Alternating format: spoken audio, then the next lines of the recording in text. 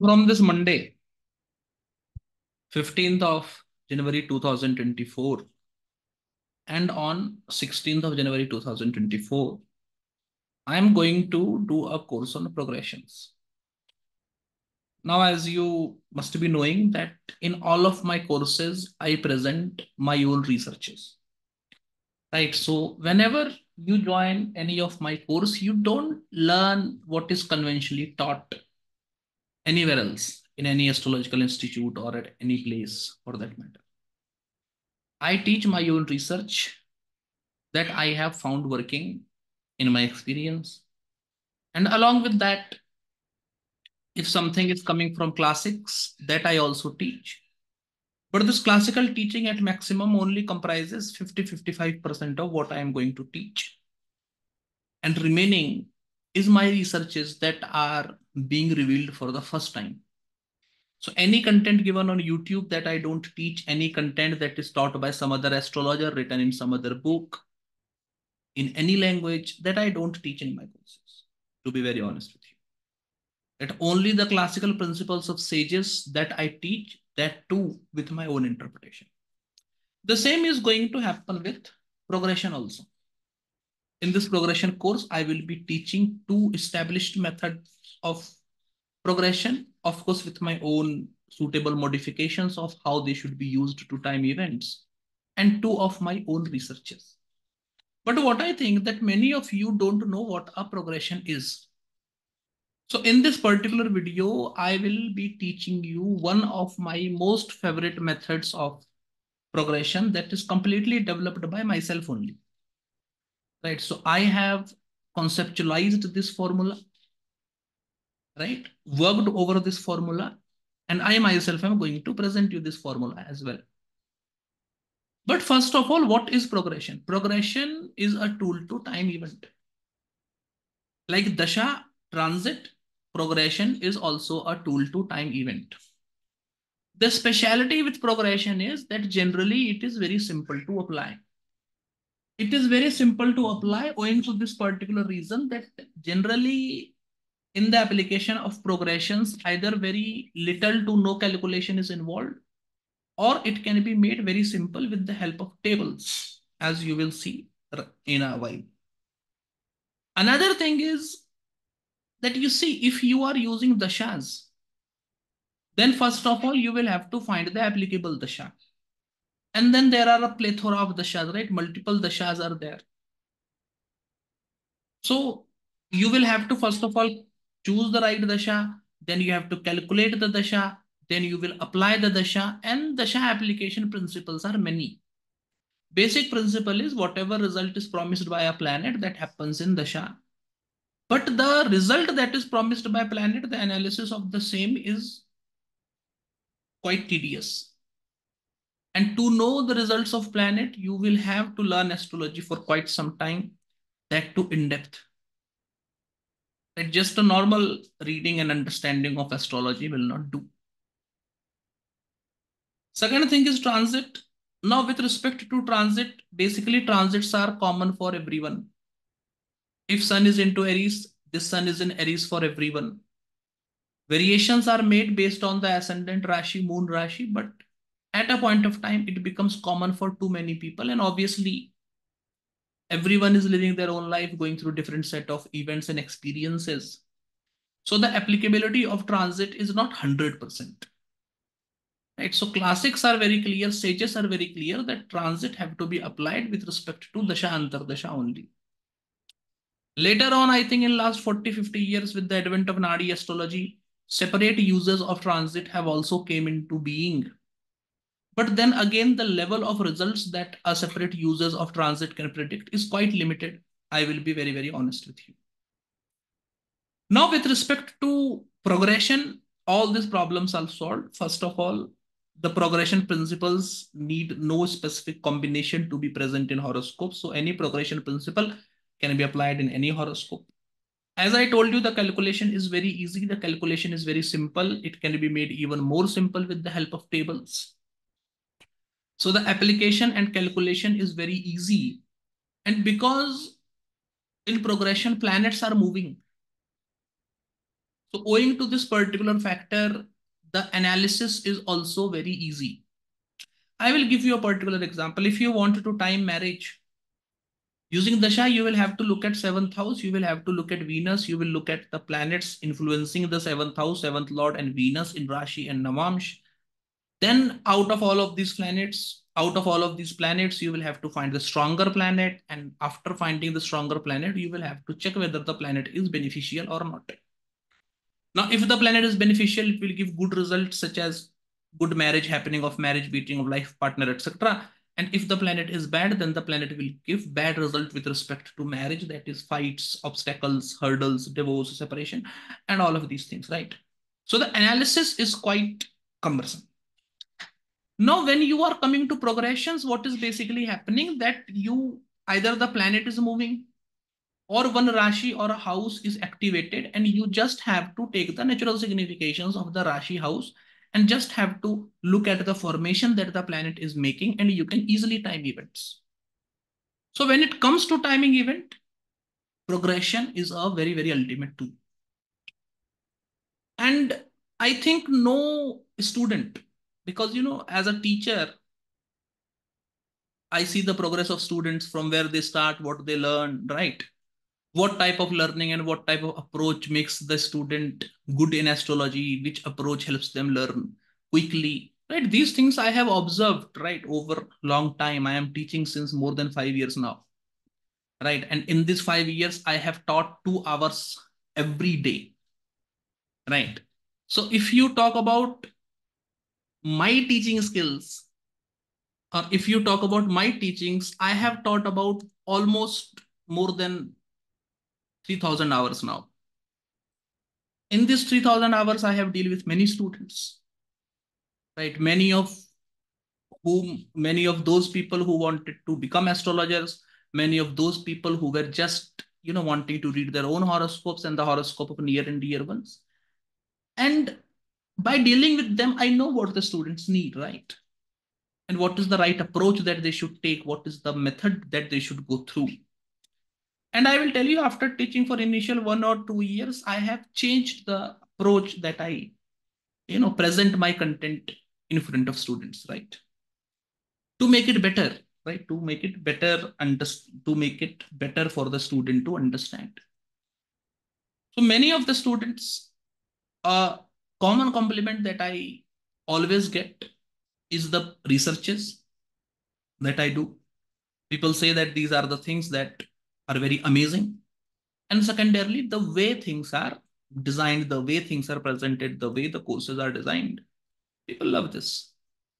Why I am talking about this particular thing? Because if you are looking to time events through astrology, either as a professional astrologer, you want to know how to time events or only for your own life and your near and dear ones, you want to know how to time events. Progression is something that you cannot miss at all. Right? So progressions have to be used. The technique that I am presenting to you today, my own technique, the technique is very, very simple. The technique is very simple. So as per the sages, maximum human longevity is 120 years. Now, of course, there are few people, a handful of, that live more than 120 years also. But generally, maximum longevity for human is taken 120 years. And maximum longevity for that matter is taken for every being. Now the concept is that this 120 years is equally divided into 12 houses of horoscope. So each house starting from the ascendant activates for the activates for 10 years. That is bond number one. Now, if one house is activating for 10 years, and one house is having 30 degrees, then in one year, how much degree it will cover? It will cover three degrees. So basically you can say that first year to 10th year is ruled by the first house. And in this 10 years, every year is ruled by three degrees of the first house, three degrees each. So three, zero to three degree, three to six degree, six to nine degree, nine to 12 degree, 12 to 15 degree, so on and so forth. Then the next 10 years, 10 years to 20 years are ruled by second house. The same division is done. right 21st year is ruled by second house 0 degree to 3 degree and so on and so forth that is the basic funda now in this basic funda you know that one house is getting activated for 10 years. And keeping this particular fact in mind that one rashi is having 30 degrees and because it is covering 10 years because it is being covered in 10 years 3 degrees will be covered in one year. One more thing comes to my mind. That this three degree span that is getting activated every year is also the duration of one dashamsh, one D10. Now, generally in the field of astrology, people think that dashamsh or D10 is to predict about profession. I don't know who told them this. If you are talking of how classics or how the sages are using divisional charts, there is no one who has said that Dashamsh is to be used for profession except for Parashar. And what Parashar have said, have Parashar told you that Dashams is to be used for profession? Parashar says Dashamshe Mahat means big, Phalam means result. It basically means Dashams indicate big results. Now this big result is profession? I don't think so big result can be any big result and my interpretation is any big thing that is happening in life marriage childbirth divorce promotion gain of social status name fame recognition bad time financial misery right or financial benefits all of these things which are very impactful in your life something if you write your biography something that you will want to mention is a great result that is seen from d10 so according to me, because Parashar himself have clearly said that Dashamsha Mahatphalam, Dashamsha indicate great results. For Dasha Antardasha, and the major things that happen in Dasha Antardasha, one should use Dashamsh. And this particular technique is also employing this particular progression technique that I am telling you because it is covering three degrees in one year it is very benefiting to check Dashamsh also along with the Rashi chart to time events better. In fact, because this technique is developed by myself and all the techniques that I teach in my courses, I have used them in my prediction for at least five years. So since last five years, not last five years, like I up, I used these techniques, this technique up to 2021-22. Right. So it is giving result. So from that experience, I can tell you that D10 is more important as compared to the Rashi. In Rashi, our approach is very simple. Any age you will want to predict, you will go to that particular age. You will see in which house, in which degree this age is coming. Then you will say any planet situated, then you will see any planet situated in that house, any planet aspecting that house, the lord of that house, if falling in these degrees, then the event related to the planet will fructify. Whatever event is indicated by the planet. For example, you say third house is activated and seventh lord is going into ninth house aspecting the third house. So because it is seventh lord going into ninth house, the lord of marriage going into the house of fortune aspecting the third house and the degree of the seventh lord in ninth house is activated as per this progression table, then it is the time for marriage. This simple application needs to be done. And in the same manner, you will see that this is which set of degree, first set of degree, second set of degree, third set of degree, fourth set of degree, because it is, because every degree is three, like every year is three degrees, you will say, you will see which set of degree is getting activated in that particular year. And the same number of the shams you will see in that particular Rashi, which is situated in that particular house, which is activated. Let me illustrate it to you with help of tables and charts. As I told you, tables and charts will make the thing easy. So let's start from there only.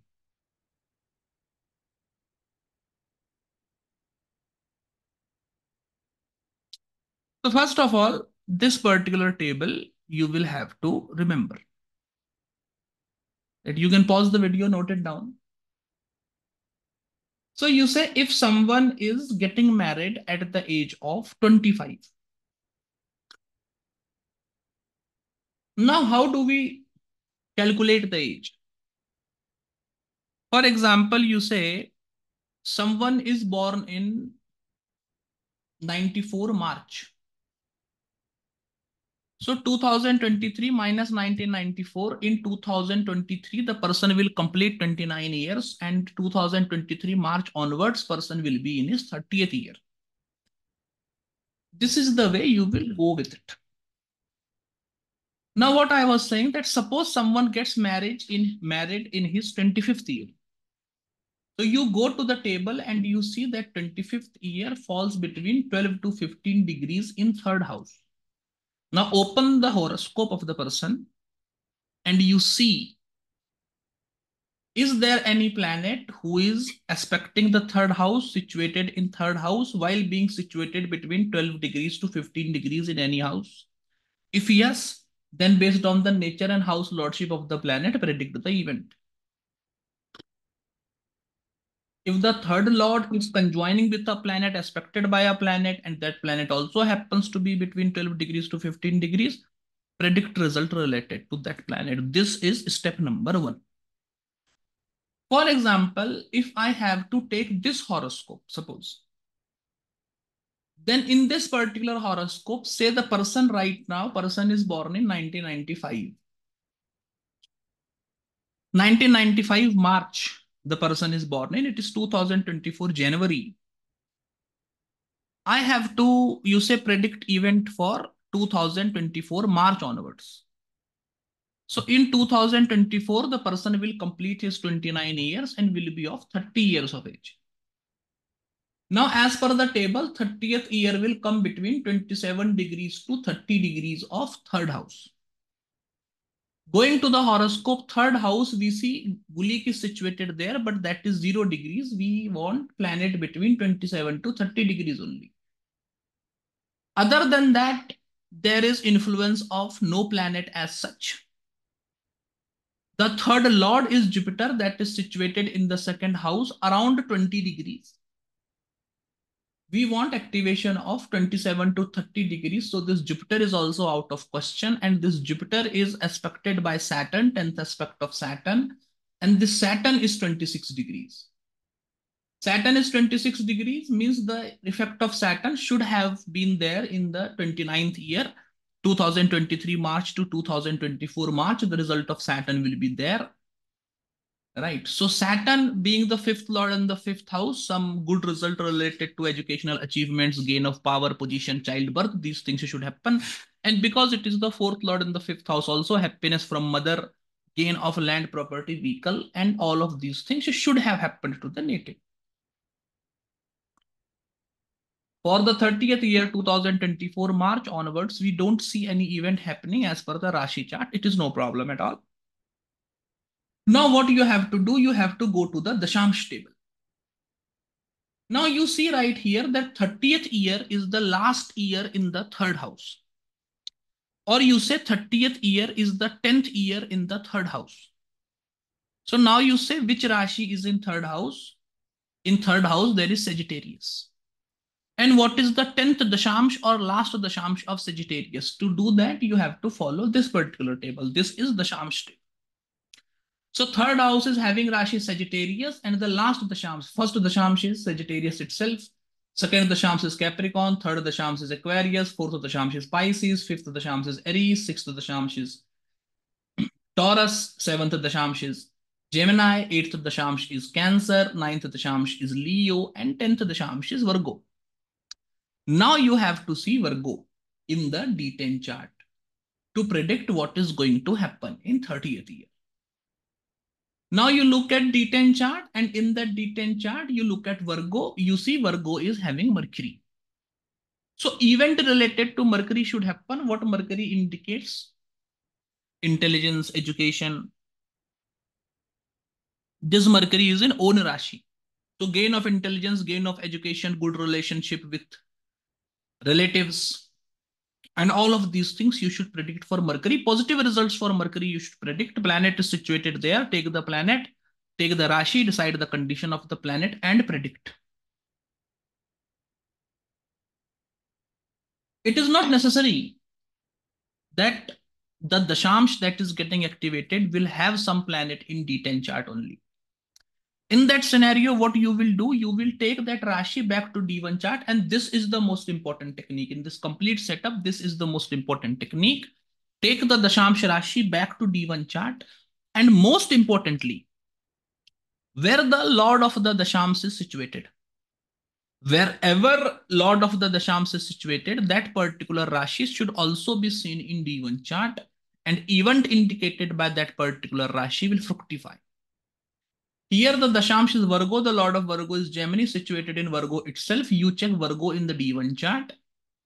This Virgo is having 12th aspect of Rahu and 7th aspect of Venus. So event related to Venus, gain of marriage, getting girlfriend, going into relationship will happen. This Venus being 8th Lord in 6th house, health problems can also be there. This Venus being Lagna Lord in 6th house, there will be struggles, competitions, enmity can also be there. Rahu is in the ascendant and Rahu being aspected by Sun, Mars and Mercury, out of which most powerful is Sun. Rahu is giving result of Sun. Sun being the 11th Lord in 7th house is indicating gain of money through acquaintances and the 12th aspect of Rahu over Gemini will make sure that this result happens in the 30th year. So this is how you are going to predict events. I hope the example is very clear. At least I have explained it very clearly. If there is any confusion, you can listen to it again and again, and then you will be able to analyze it better. One more horoscope, I think, will help you. We already know the event. Say this is the horoscope. This is the horoscope of a person who is born in October. Right? This is horoscope of a person who is born in October. And this person gets married in May 1883. So now because this person is born in October and he is getting married in May 1883, we have to consider 1882. So 1882 and the person is born in 1869. Right, so 1882 minus 1869, this person was 13 years of age. Completed his 13 year, he was 14 years of age. Now you go to the table to see that 14th year is coming into 9 to 12 degrees of second house. 9 to 12 degrees of second house. Second house, there is Saturn, but it is not between 9 to 12 degrees. Second house is aspected by Rahu. Rahu is off 12 degrees.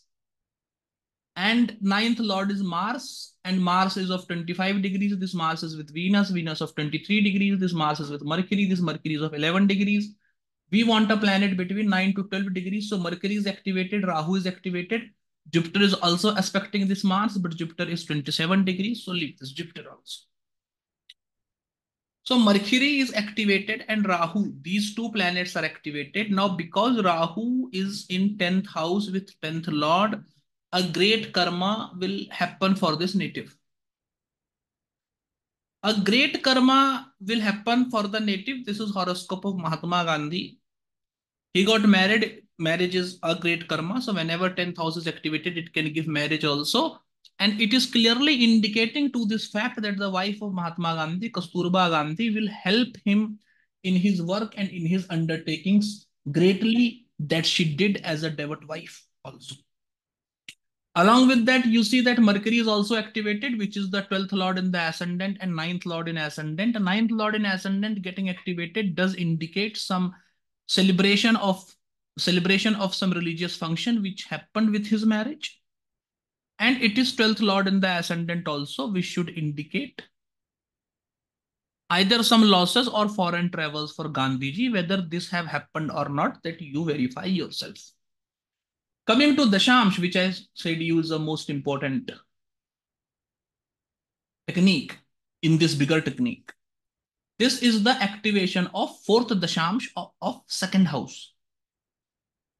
Fourth Dashams of second house. Second house is having Rashi Scorpio. And the fourth Dashamsh of Scorpio is 1, 2, 3, 4 Libra. Now, fourth Dashamsh of Scorpio is Libra. Now you check this Libra in D10. This Libra in D10 is having a debilitated sun. Point one. Secondarily, the Lord of this Libra is Venus. And this Venus is situated in Taurus. The technique was why I am taking second horoscope to illustrate it because in the first horoscope, the Lord of the Rashi was in the Rashi itself.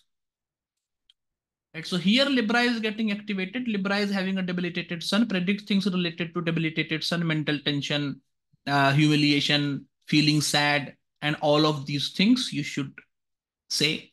Mahatma Gandhi writes in his autobiography that when his father was dying, he was having a physical relationship with his wife and he could not pay attention to the calls of his father, because of which he was very ashamed also. So these things you can read in his autobiography right? The important point is that the Rashi Libra is activated. The fourth Dashamsh of the Rashi in the second house Scorpio. Libra is activated and this Lord of Libra is situated in Taurus D2. Sorry, Taurus D10. Now take this Taurus back to the Rashi chart to see that this Taurus is the eighth house, which is aspected by fourth and fifth Lord Saturn, and it is aspected by Mars, that is the seventh house Lord and second house Lord. Now, because seventh house lord is aspecting, it indicates marriage. Because second house lord is activating, important addition in family should be told. Because fifth house lord and fourth house lord both are activating, it should indicate comfort for Mahatma Gandhi also. Gain of conveniences for Mahatma Gandhi also. Extension of family for Mahatma Gandhi also. And gain of position, power, and good good gains or good progress in educational fields should also be indicated for Mahatma Gandhi in this particular year. Right? So this is how you are going to use this technique. With the help of these two tables, I think the calculation is very easy. Most importantly, you will have to pay focus to that particular Rashi which is occupied by the Dashamsh Lord in Dashamsh itself, that Rashi should be taken back to D1 chart, that Rashi should be taken back to Rashi chart and analyzed accordingly. Right. So this is my method of progressions. So in the course webinar, I promise that I will be teaching two traditional techniques and two of my research techniques. But this one technique I have already taught you in this YouTube video and whatever I teach publicly, I don't teach it in the course because I value the time of my students and my own time as well. So this is a fifth extra technique that I have kept out. In the course, I will be teaching two traditional techniques and two techniques developed by myself, which will be entirely different from this particular technique. This technique I have given publicly so that you can apply it in horoscopes and predict events in an easier manner with more confidence and get better hold over the prediction of events. I think this offering will help you and will make your astrological journey, will help in your astrological journey and will make your astrological practice easy. Thank you for watching.